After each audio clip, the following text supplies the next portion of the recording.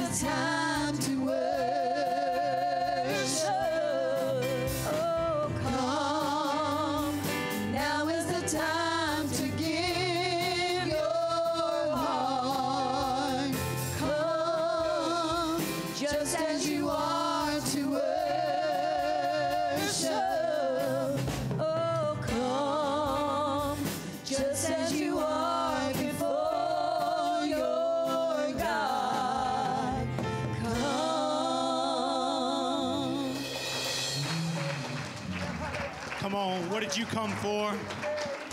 If you came here to worship God, why don't you just do that right now? Someone says, Come, let's worship Jesus. That's the whole reason we are here today. Come on, you didn't just come out of here out of habit, did you?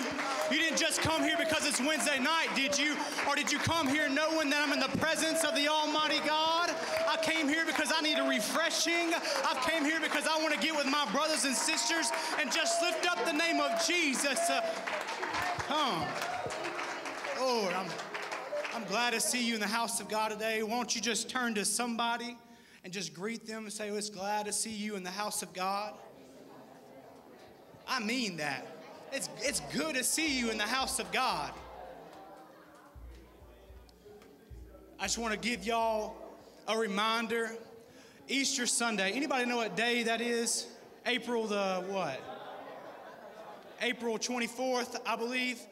Easter Sunday, we're going to do our kingdom building offering.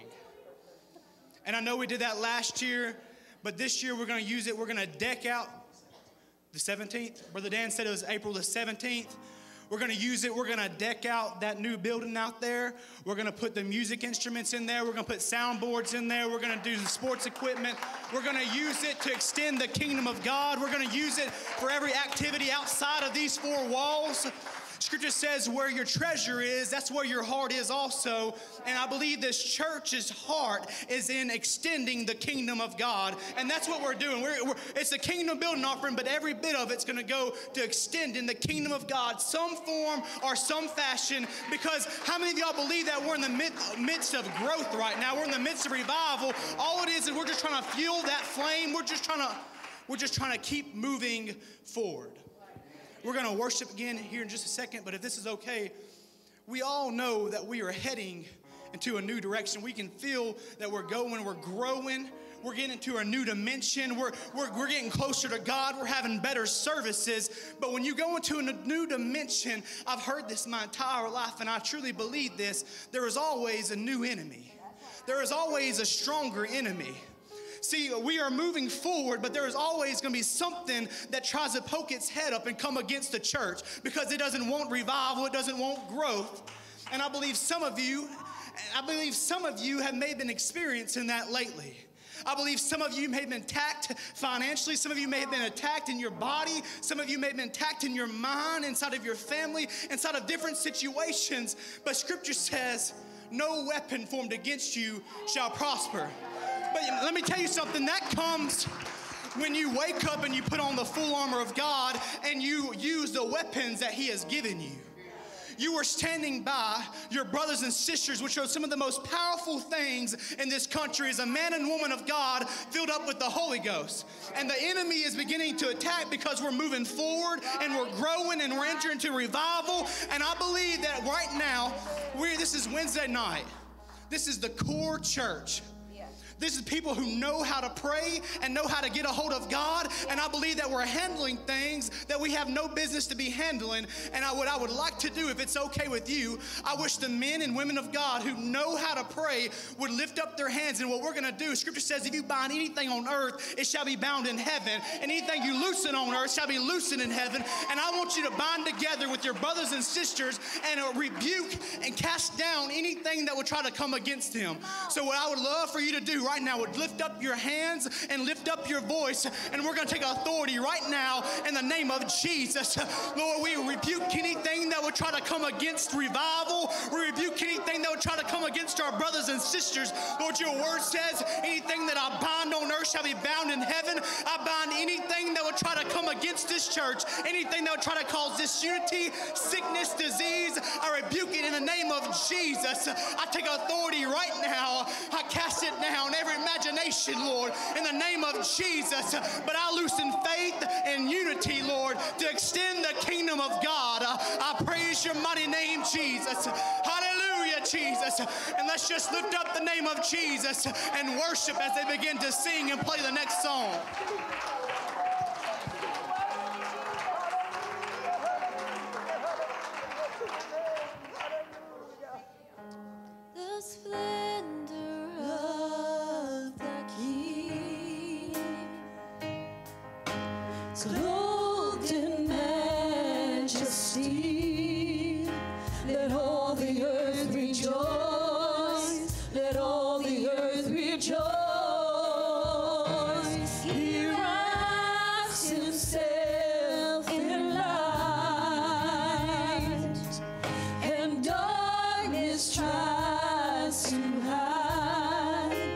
It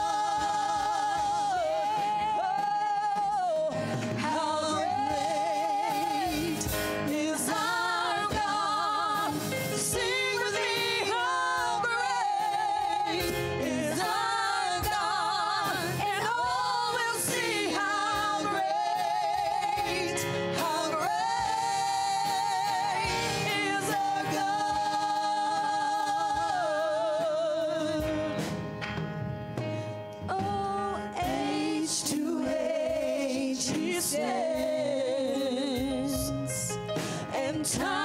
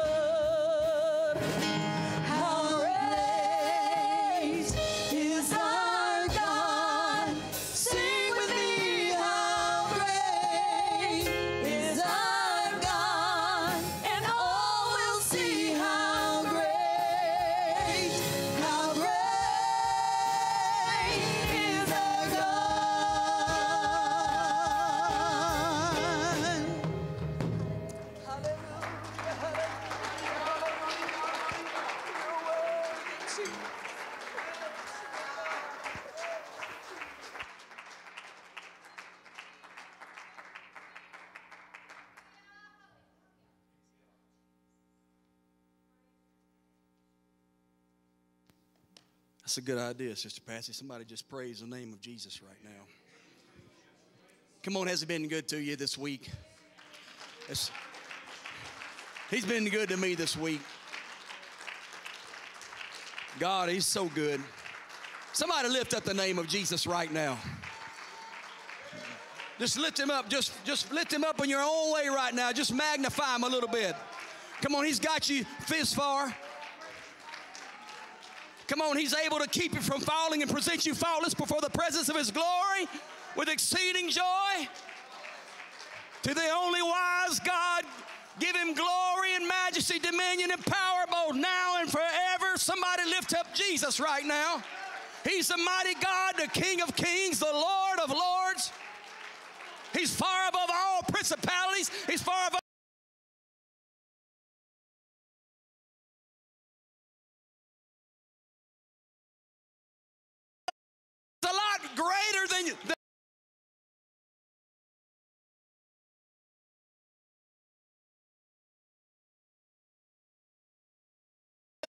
to walk through to get here tonight.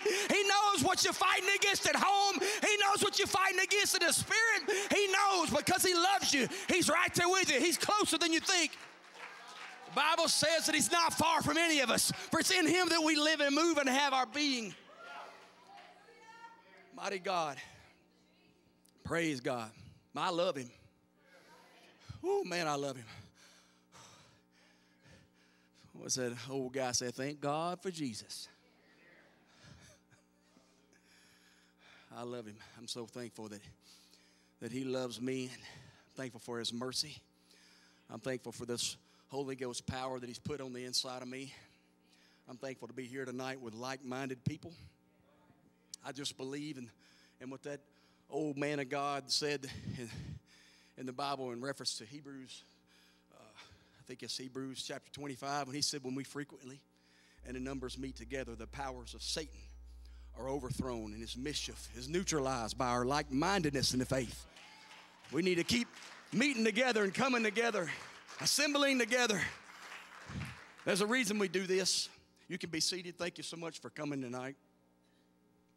And uh, this will be the first time that I've preached since December the 5th. Actually, preached a message, you know. So, uh, you know, if I'm if I'm rusty, give me some, cut me some slack tonight. But uh, I'm just I'm glad to be here, helping out wherever I'm needed. Uh, I, you know, my natural giftings tend to be probably in music. That's where I was born with some giftings, I guess you'd say, that, that came a little easier for me in some areas. And, uh, you know, we don't always get to operate in the areas that we feel good in. Sometimes God calls us to things that maybe we don't feel so sure about, don't feel so overly confident about. And, but He didn't really call us to, to what felt good. He called us to what to be obedient to Him and what He needs us to do. Evidently, He sees something inside of us that, that He wants to use, and sometimes it's just a willing heart. Somebody like was it Isaiah that said, "Lord, send me." I'll go. Send me, Lord. I'll do it. I don't know what I'm doing. I ain't got a clue what I'm fixing to walk up into, but God, I'll do it. Just send me. That's kind of the way I was when I went over to the Philippines. I was like, I don't know what I'm doing, but I'm going to go because He wants me to go. And then God opened the door, so I'm fixing to run right through it. And, you know, the devil may chase me all the way there and all the way home, but He obviously seen fit that I should go. And, and that's, uh, that's, that's the way the calling of God works. We just do what God says and be obedient to Him and trust Him every step of the way. Praise God. Uh, just a reminder tonight of the, the uh, anniversary service that we're going to have this Sunday. Uh, it's going to be a 10 a.m. service. We're not having Sunday school. And also remember to uh, set your clock ahead Saturday night before you go to bed so that when you wake up, it'll be the right time. Set it ahead an hour. Otherwise, you'll be an hour behind and won't realize it. But uh, if, just remember, it's daylight savings time begins this weekend. And uh, we are having a special service Sunday. And we would like for everyone to be here and not an hour late. So I've, I've made that mistake before. It can happen. But anyway, uh, well, I'm going to talk for a little bit tonight, teach, preach, or whatever happens. Who knows? Uh, I just want to minister a few minutes tonight uh, out of the book of Acts, uh, chapter 6. Uh, if you ever read that book before and you're pretty familiar with the book of Acts. Chapter 6 is uh, when you have the, the Grecian widows that are griping and complaining because they're not getting the olive garden dipping sauce that the Hebrew ladies are getting, and they're griping and they can't keep up with all the work that's going on. So the apostles are overrun with lots of work, and church is growing like crazy, and they've got to they got to get some help. So the Bible says that these apostles they appointed seven deacons to help lift this load off their backs. And uh, uh, just a side note, I don't know if you realize it, but there's a lot of folks that, that appoint and elect deacons in their church. And I'm not so sure they're apostles because the only record I have of deacons being appointed by anyone is by apostles. And nowadays we have parishioners in the church voting them in. So there you go. You may not be really talking to a deacon when he says, I'm a deacon at such and such church. That's just a side note in case you're ever wondering about deacons uh, the apostles appointed those guys. And uh, there's one in particular that the Bible distinguishes among those seven. His name was Stephen. And uh, I'm going to read up his read his opener verse in verse 8. If you want to read with me in chapter 6, verse 8 in the book of Acts. It says, And Stephen, full of faith and power, did great wonders and signs among the people. This is what kind of guy he was. Then there arose some from what is called the synagogue of freedmen or libertines, depending on which Bible you're looking in. Some men came from this synagogue. They were Cyrenians, Alexandrians, and those from Cilicia and Asia. And in case you're wondering what this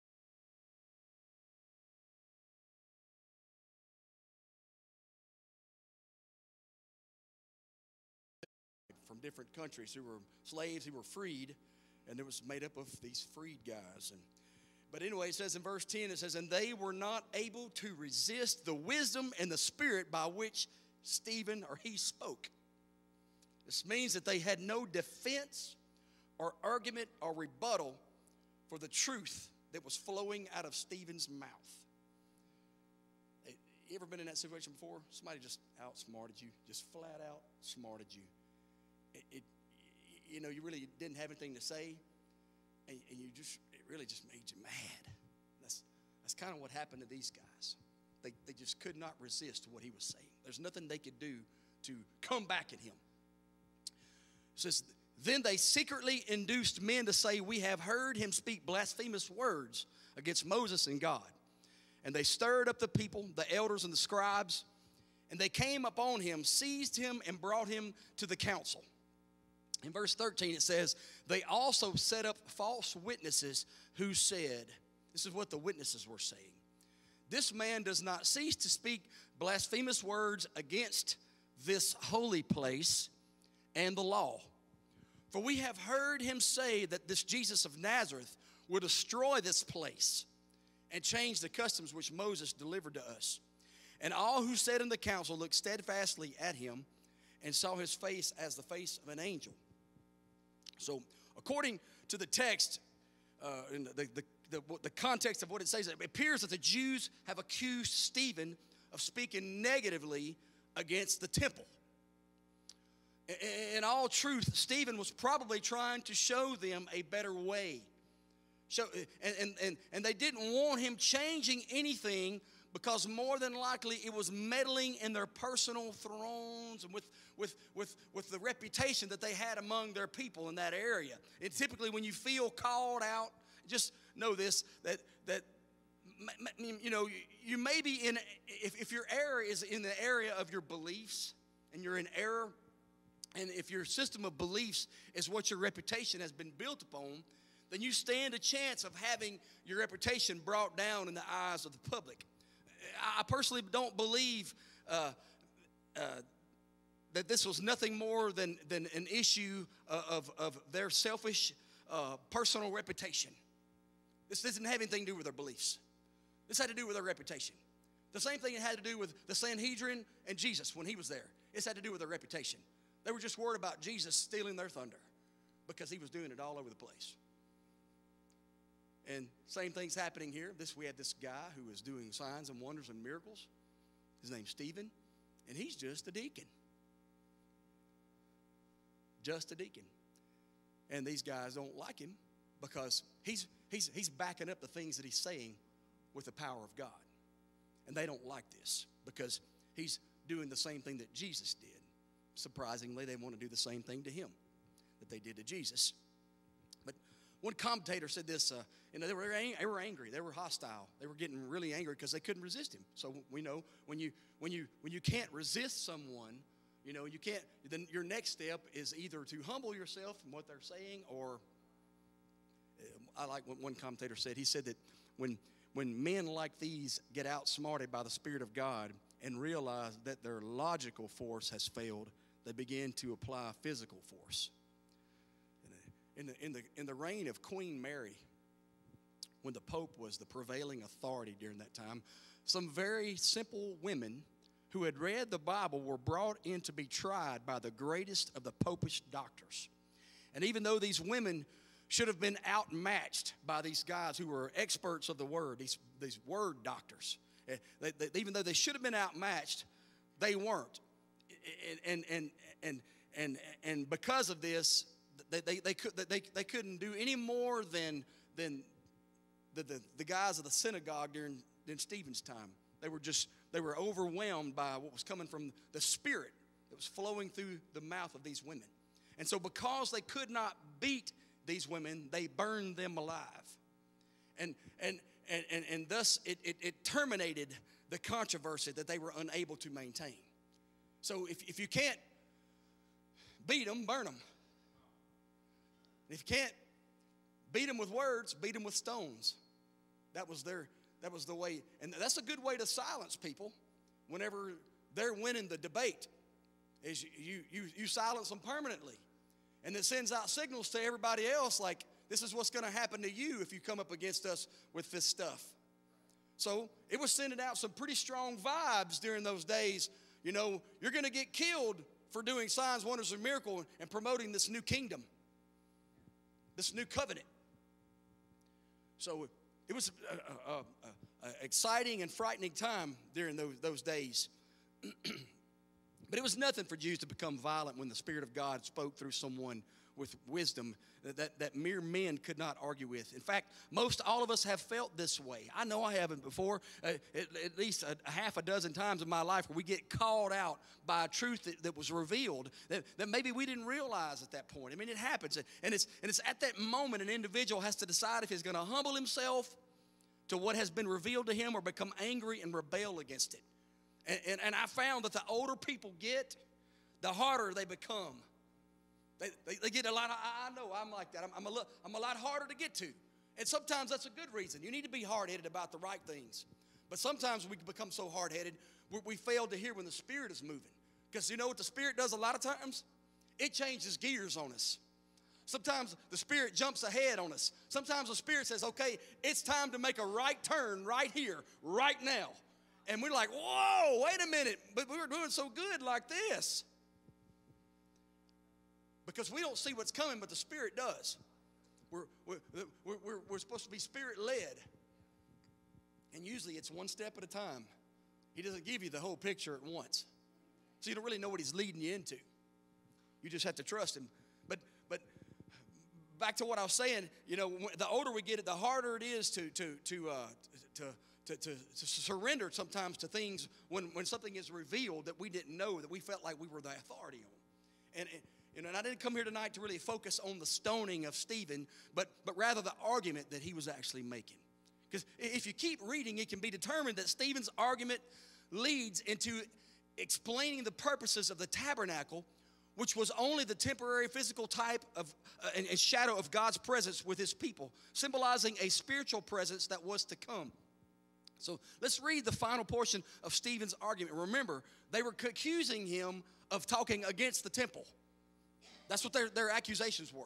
And so here we have Stephen with his rebuttal in chapter 7, verse 44, one chapter later. It says, Our fathers had the tabernacle of witness in the wilderness as he, God, appointed, instructing Moses to make it according to the pattern that he had seen which our fathers, having received it in turn, also brought with Joshua into the land possessed by the Gentiles, whom God drove out before the face of our fathers until the days of David, who found favor before God and asked, asked to find a dwelling for the God of Jacob.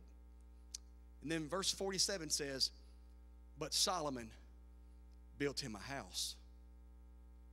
Look at somebody and say, But Solomon built God a house.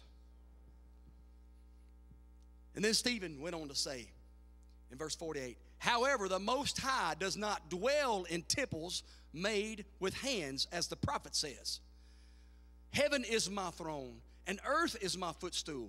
What house will you build for me, says the Lord? Or what is the place of my rest? Has my hand not made all these things? You stiff necked and uncircumcised in the heart and ears, you always resist the Holy Spirit. As your fathers did, so do you. This is the end of Stephen's argument, where he was explaining how the first and original plan of God's dwelling place was a tabernacle, which was a portable structure that was created to be mobile. Look at your neighbor and say, mobility. This was the original plan. This is the God breathed plan, the one that came from God Himself to Moses with specific instructions on how to build it and how to work it. It came from the Lord Himself. This plan did. And it was a special kind of place that was made to house the Spirit. It was the original plan. It was a type and shadow of the new covenant that Jesus would bring and establish.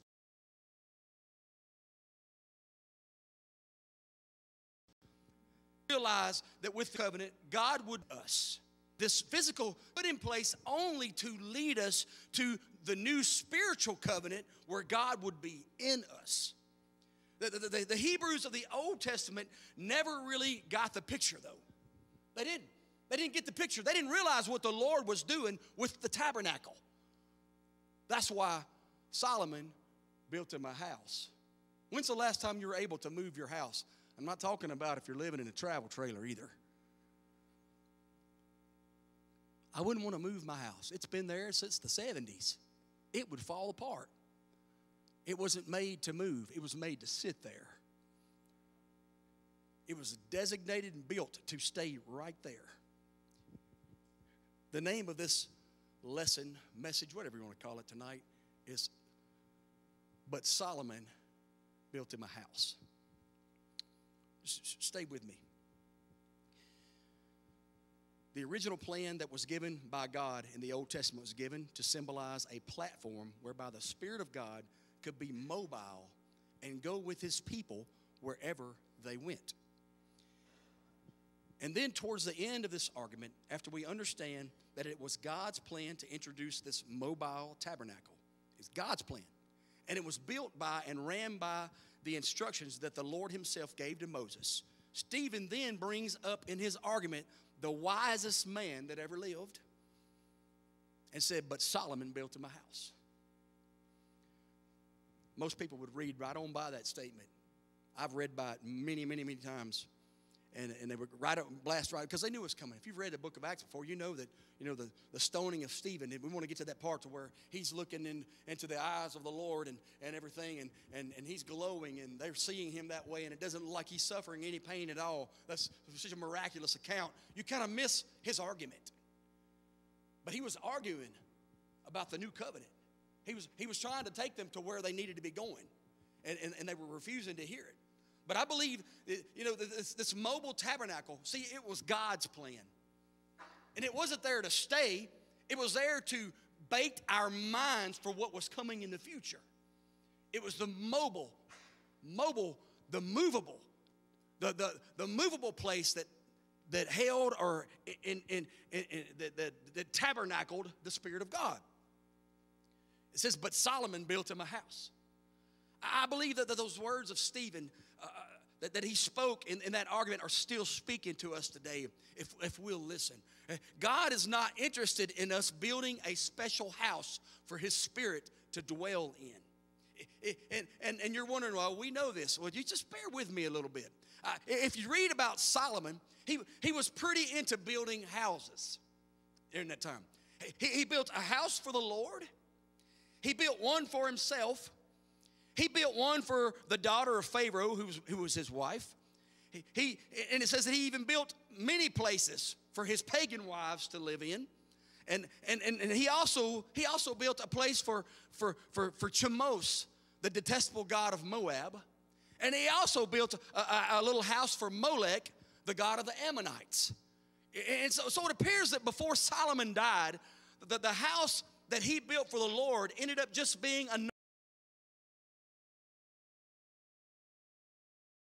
another house that somebody to put some, it's just another house. You know, in the beginning, but he didn't quit building houses.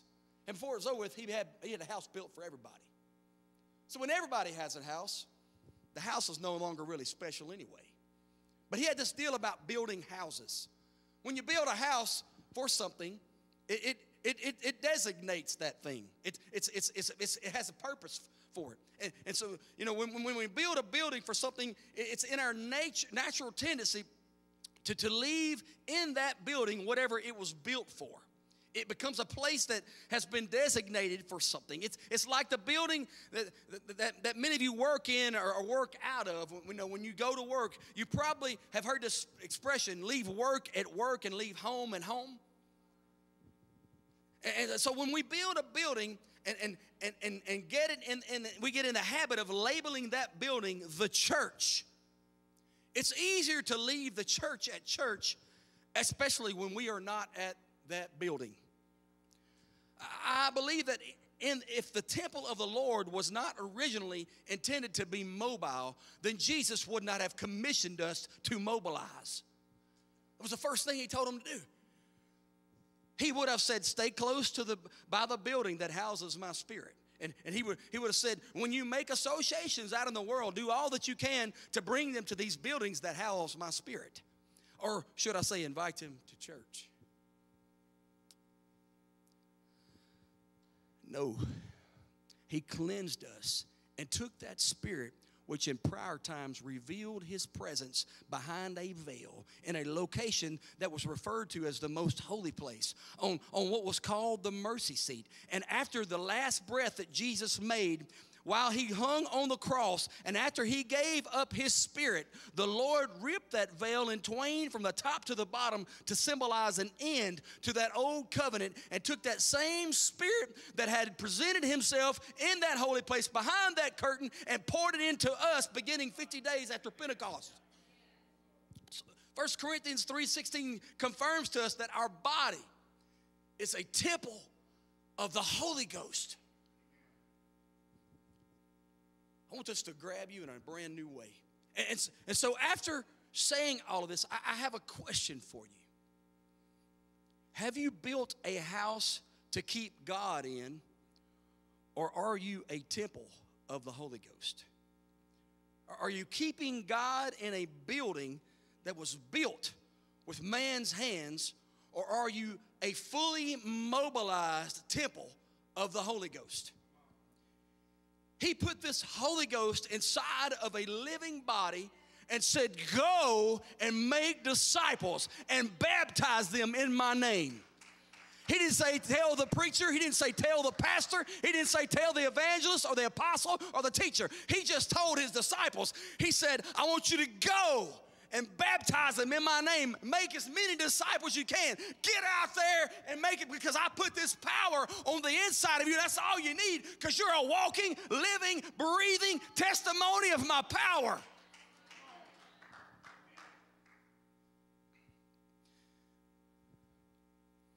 Hang with me. I'm not a church.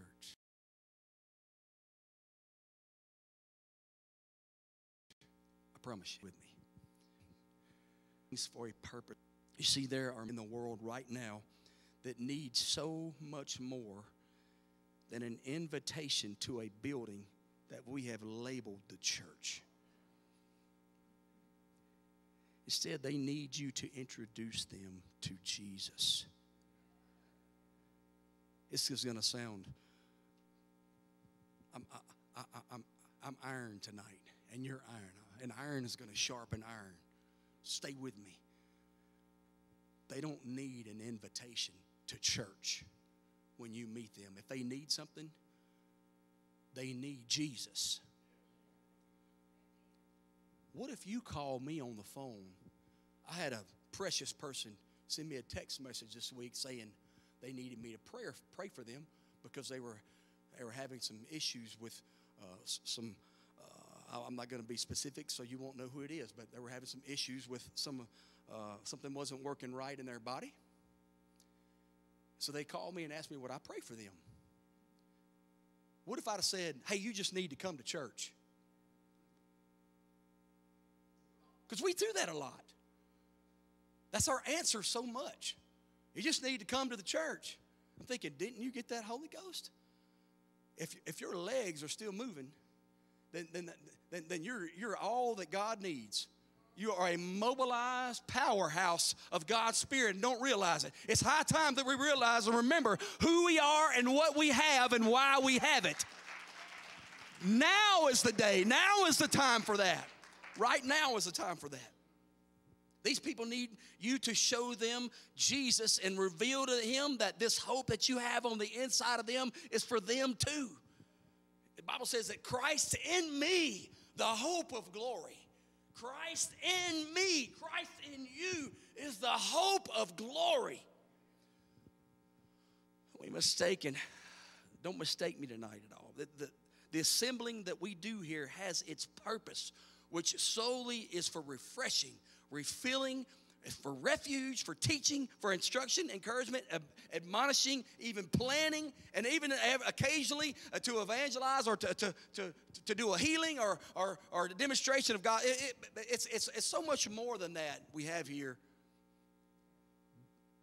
But this is not the greatest place in the world to witness to people. For decades now, one of the number one cries throughout all the churches in America has been come instead of go. I never heard Jesus say, Come to church. I believe that one of the main reasons for that is because there is so much pressure from a world for this meeting place to uh, appear successful. True success of a meeting will be reflected in what a follower of Christ does out in the world after that meeting. We always think that success is always what happens in here. And so many times, what's ministered or preached or taught about is something you're supposed to take with you when you leave here, and it's supposed to take effect when you get outside the brick and mortar. That's, that's, eh, that's just, so you can take something with you. It- it- we put something back, put, we're making it inside of you and powerful so that you can use it. Sometimes it's just a reminder of who you are. Uh, sometimes it's, it's encouragement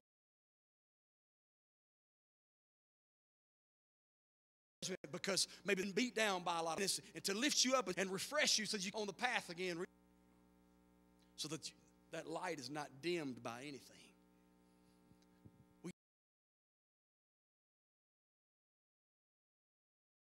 We, we need this place. Together, something happens to come the church, then the meeting. If what happens at the meeting causes us to tell people about Jesus and demonstrate his love and power, that meeting was it's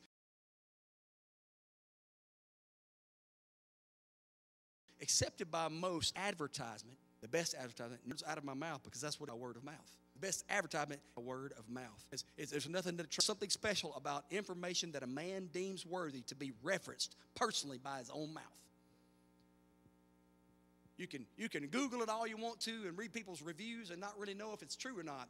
But but when i run into to to, to brother frankie or brother scott or anthony or brother ken or somebody and i say hey man i'm trying to figure out what i need to do here. He's like what man this is what i've done for years and you're talking about work great for me well obviously i'm going to go with what they're saying even if maybe some of the reviews saying, well, you know, these guys here have a little bit better plan, I'm thinking, well, yeah, but I know Ken. I don't know them people.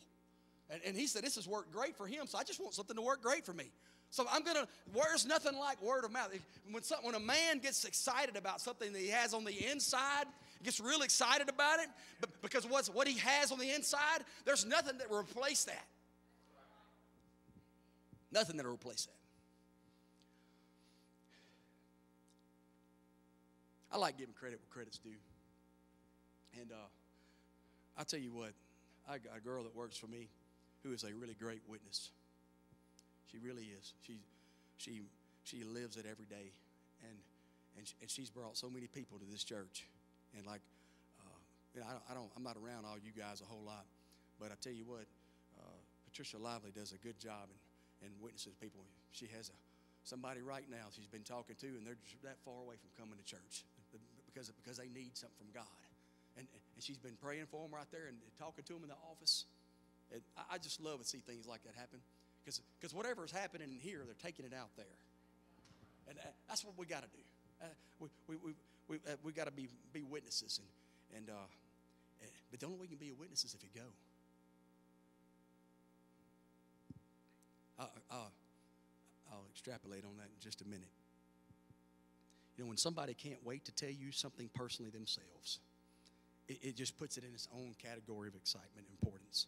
And, and, and so, so should the Word of God, the testimony of salvation by grace, and the good news, God's mercy, peace, forgiveness, healing, deliverance, uh, you know, eternal life in Him, through Him, and for Him forever and ever. That, these things, we should be excited about those things. There, has there, been people this week that, that have, have uh, been impacted by, by, by men in our church that, that uh, they went to this individual personally to, to, to remind him that, that, that God is good and that God still loves them and that they still have time. And, and as long as you're breathing air, you, there's still a chance for you to get yourself back like you need to be. And, and, and as long as you're living and alive, there's still hope for you. And, and you know, there's, there, you, you got a chance to get your house in order. That's the kind of hope we get to give to people. And sometimes when people are right there at their ropes in, and time is about to expire for them, but they're still alive and they're still breathing, they still got their mind. You know, sometimes they're they're reminded at, at those point in times, you know what, I have really messed up. And you know what? They, I believe they can repent. They can truly turn back to God. I believe that with all of my heart. But so when we talk to people concerning the kingdom of God, is it mostly about the building that sits here on Highway 17? About meat and drink, like the Bible says? Because the kingdom of God is, is not buildings and it's not stuff. We should be using this time to advertise the righteousness, peace, and joy that we have found in the Holy Ghost. We want to brag on Him, to brag on what He has done in us and does through us, to brag on what He has done in our lives, to, to testify to them about God's great power and, and where we were at one time and where God brought us from. That's what those people need to hear, especially in the South. There's a church on every corner. We can get to that part later. They need Jesus, they need hope, they, they need a reason to live for Him. They need a reason to, they need a reason not to just serve their flesh, to know that this life living for Him is better. That's, that's what they need to hear. We, we can get them to church on another day. They need Jesus right now. What if Jesus would have came to all those people that were just thronging him in the crowd all the time. And, and as they were, they were coming to him for healing, coming to him, God, I need you, Lord. Uh, you know, my, my, my daughter's possessed with demons. And, they, and he says, Hey, you need to come to church with me. You talking about the synagogue? Uh, all right. You don't have to take that old devil back home with them. Sometimes I think we get things out of, out of order. These people need Jesus. When you're in conversation and you can tell someone is eat up with a spirit of fear, do you take this time to invite them to a church service or do you begin explaining to them how the Lord defeated that fear surrounding your life with power, love, and a sound mind of the Holy Ghost? I mean, are you only advertising and promoting this spot on 6045 Highway 17, or are you telling someone about the real life changing Jesus? The, the, the, the answer that people need to be hearing when they are in need does not need to be, you just need to come to church. They need, they, they don't need a building, they need Jesus. And if you can only, if, if you can only find Jesus in this building, then you have put him in a house like Solomon did his many wives. That's where I'm coming from tonight. There'll be plenty of time to connect those people with this assembly after they get Jesus. In fact, they are going to want to come and meet the people that you have been gathering with and experience whatever it is that you have after they get a hold of Jesus. Because you know, it, it, you know, you, you join in the Jesus Club whenever you get Jesus, and you, that's who you want to associate with as people who have the same thing that you have. It, that comes naturally. You don't have to beg them to come to church then.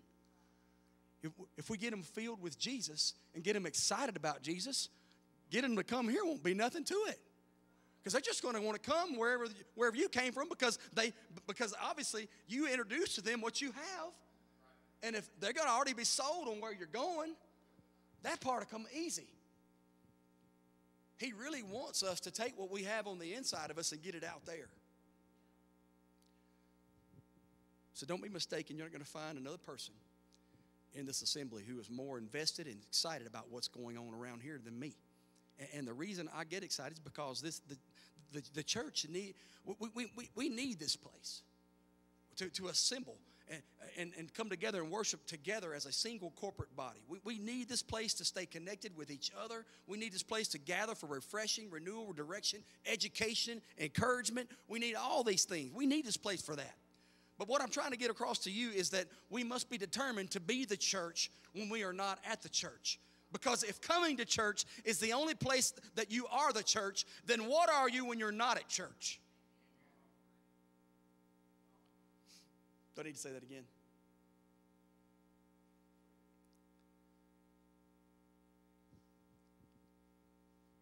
If you're coming to church, and this is the only place that you are the church, is when you're coming to church.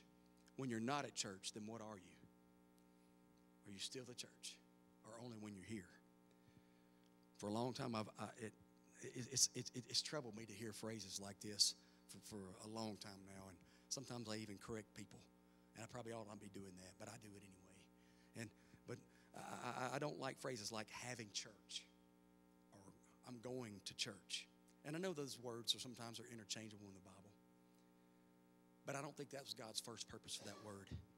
I feel like that most of us have, have lived this way probably since we came to know the Lord. And so, and as, as long as we have church or go to church, then we are training our minds to look at the church as a designated time and place. I mean, if you go to church, then, then you'll be able to leave the church. And if you're having church, then you can stop having church. And, bear with me because there is no brilliance about what I'm what I'm fixing to say, but but but but the only way I know that I can stay at church and never stop having church is if I am the church. Call it semantics if you want to, but I'm convinced that this body was created to house the most powerful, life changing force in the universe. And God gave us this power to be a witness to someone that's out there on the outside of this building. I believe that. I asked God the other day. I was kind of tired of it. I felt like I was just going days without really talking to anybody. I said, Lord, somewhere, some way, somehow today, Lord, let me run into somebody that needs something from you. And I spent most of the day. It's like, well, you know, I'd almost kind of give up on the whole idea of it by the time. And then it rolled around. And lo and behold, somebody was there in my presence. To be careful, I'm not, I'm not trying to identify anyone, but they were there and they were really down really, really, really down and, due to a, uh, a lost loved one that they had, had just recently lost. And they were in a state of grief, and this happened to be that person's birthday. And they were just on the bottom. And remembering, this was a very young person very untimely death that took place. And I've been around those, those situations before, and uh, nothing pleasant about those times. But but I was thankful that I was there because it opened a doorway to so much more hurt on the inside of that person. And I love it when somebody talks about their hurts around me that don't know the Lord. And when people talk about their hurts around me that's supposed to really know the Lord, then I wonder how well they know the Lord. But the fo- folks that really don't know the Lord real well, when they're hurting really bad, they need Jesus and I know that's what they need. I get excited about it because I know that that's that far away from them, a, a demonstration of God's power, uh, that, that far away from, from the redeeming power of God that'll lift them up out of that pit and out of those shadows and out of that darkness. I get excited because I know that God has something for them and God has connected me with that individual. But to be truthful, there are two places that that you can go that won't offer you many opportunities to share this power with people who need the Lord. And those places are your home and this building that we call the church. It's not going to be a lot of witnesses, witnessing going on in the church or at your house. And if that's the only two places that you go during the week, you're probably not going to witness to a lot of people. So I would advise you to, to do like I think it was Elder Brother Lester said. He said, keep a high level of visibility. Get out, go to the marketplace. Go to the store. Don't order it all online where they deliver it to your house.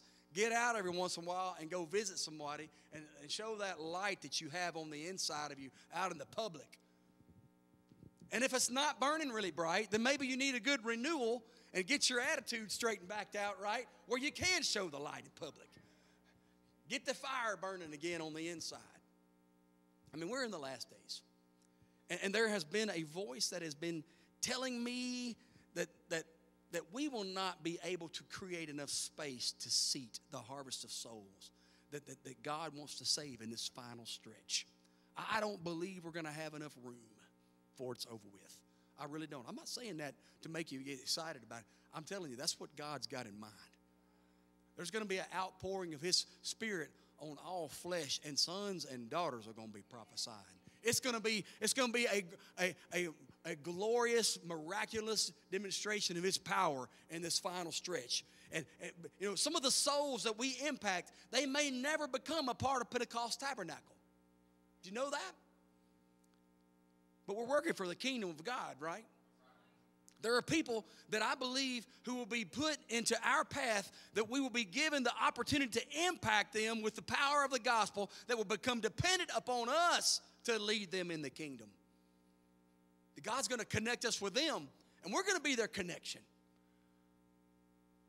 I mean, think about it for a minute. Do we have enough seats or enough money to buy the seats to seat everybody in this region?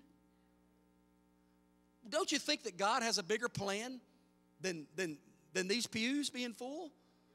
We got to think about this last hour plan, what God is really trying to do. I don't think we got enough, I don't think we can purchase enough chairs to stuff both these buildings full for what God wants to do in the last hour. For the people He's want to save. Hey, He saved you, didn't He? What makes you think You don't want to save everybody else?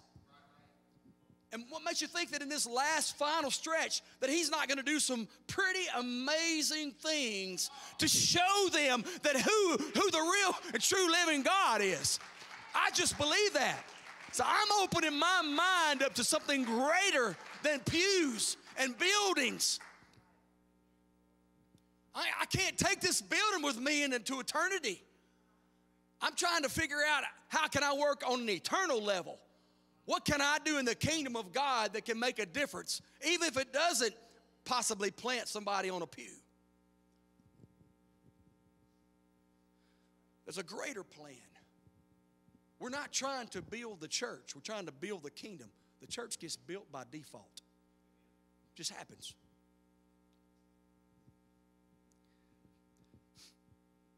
Meaning, these people are never going to sit on a pew here at this church and, and directly connect with this assembly, but they may connect with you as you connect with us. Hear me about what, uh, what I'm going to say here. I just, I'm, I'm almost done. I'm not exactly sure how this massive kingdom expansion will take place as we move into this final stretch. But I feel strongly that we, we should open our minds to something greater, something more than we have ever been accustomed to.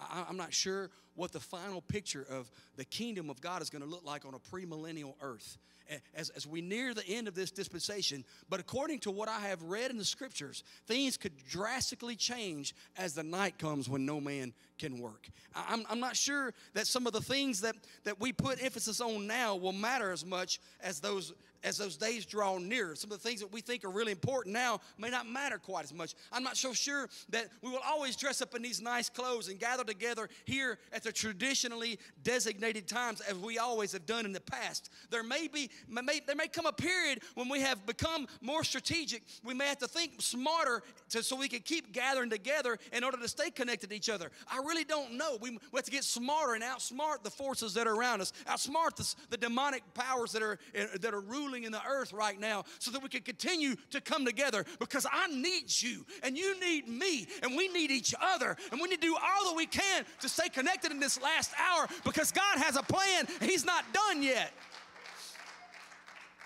The church is so much bigger than a building.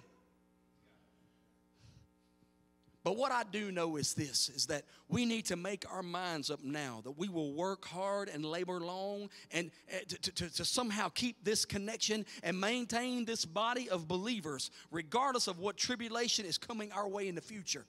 It's, it's time for us to push aside the petty feelings and other schisms that Satan has been trying to interject into this place in an attempt to bring division. Even he knows that, that he knows right now that the key to the survival of this body and keeping all this the body parts attached and working like they're supposed to properly without a, a handicap or a limp or a missing limb is to keep unity. He knows that we got to keep unity in order to keep functioning right. He would love nothing more than to see this place implode from the inside out out just before things change gears. There would be so many lives that would be severely wounded, and so much territory remain, it will remain untouched if we allow any division to take place now. So I feel strongly that our personal investment in the unity of this body is key to surviving and thriving during these last days that we're in.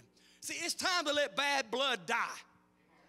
It's time right now. If you're holding bad blood, get it out of your life. It's time to let old bitterness go. Let it go and get it out. It's time to release those hurt feelings that you have, may have been harboring. Now it's time to focus on loving each other and strengthening each other and edifying one another and building each other up until this church becomes so resilient that no force from the enemy can hinder the work that God is calling us to do in this last hour. It's time to open our minds and, and, and free ourselves from the, the old stagnant traditions of the past that only lead us to complacency and, st- and then they steer us away from being spirit led. Don't, don't let the setup drag you back off into the rut. See, the Spirit's talking right now. You know, and when the Spirit talks, a lot of times people become stiff necked. They don't want to listen when the Holy Ghost is speaking. They want to say, Don't mess with my, my golden calf. Don't mess with my sacred cow. Don't mess with this. The Holy Ghost is changing gears.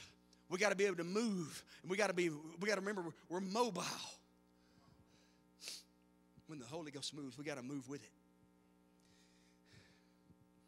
People become stiff necked. You can stand with me. Many times the Spirit is speaking because change, direction, and correction needs to take place. No flesh likes to be told what to do or, or, or, to change or be corrected. No flesh likes to be called out, but when it happens, the flesh will either rebel or the individual will repent. The flesh is enmity or against the Spirit. We don't like for the Spirit to remind us of the truth about a matter that will require us to take a radical turn or change. And always remember people who allow the Holy Ghost to speak through them are setting themselves up to be stoned by stiff necked listeners. We especially don't like what it's saying when it's meddling in our old traditions and those deep, comfortable ruts that we get in. Y'all know what a rut is, don't you? I'm talking about the kind your car tires make. I know my grandfather, I was talking to him one time before he passed away, and he was talking about the old muddy roads they used to drive down. When it would rain for long periods of time, he said they could just run their car off into these ruts and they could let go of the steering wheel and it would drive itself. That's what, that's what it reminds me of every time I hear about the word getting in a rut and, you know, getting hung up in a rut. And, and you know, they're, they're made, ruts are made by traveling through the same path over and over. And over time, those ruts, they get deeper and deeper until the point you can just kind of let go. You know, Jesus, take the wheel, and it'll, it'll just keep drive right for you right down that, that, that road, and, and, and, you know, with very little effort at all. And this is what happens in our meetings sometimes. So many times we, we allow the antiquated service structures. And when I say that, I mean this. There's only so many, so many ways you can structure a service. Mean, if you got any good, really good ideas, you know, throw it out there on the table. But we come together and we worship, you know, whether it's three songs or five songs or two songs or whatever it is. There's only so many structures you can put together. It's going to be some preaching, it's going to be some worshiping, and, you know, and we, we're praying for a demonstration. But so many times, whenever you already got it figured out in your head, you, you, sometimes you just run your car off into the ruts. And you know what happens when you run your car off into the ruts? It always comes out to the same place every time. It's guaranteed to end up in the same spot every time when you get hung up in those ruts. We need to do all that we can to steer clear of those ruts. Can you do me just a little something? Thank you. I know I'm, I'm four minutes over, but I'm, I'm basically done just a little quieter. But oh, that's all right. Just a little bit quieter. Hey, can you do some of that groovy stuff? I'm just, no pressure. I'm just meddling with you.